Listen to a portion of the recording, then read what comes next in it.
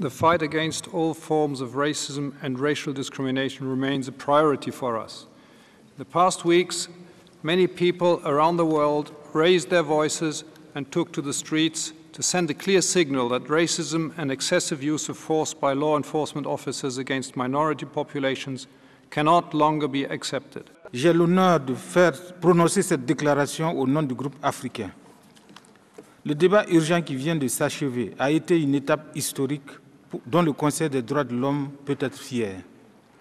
Le tollé international suscité par les événements tragiques ayant entraîné la mort de George Floyd a souligné l'urgence et l'importance pour le Conseil des droits de l'homme de donner de la voix contre l'injustice et la brutalité auxquelles les personnes d'ascendance africaine sont confrontées quotidiennement dans de nombreuses régions du monde.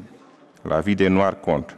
Ainsi, le racisme continue de s'exprimer et d'être assumé dans de nombreux pays, ce qui est en flagrante contradiction avec les engagements consignés dans la Charte des Nations Unies et par lesquels nous réaffirmons notre foi dans les droits fondamentaux de l'homme, dans la dignité et la valeur de la personne humaine.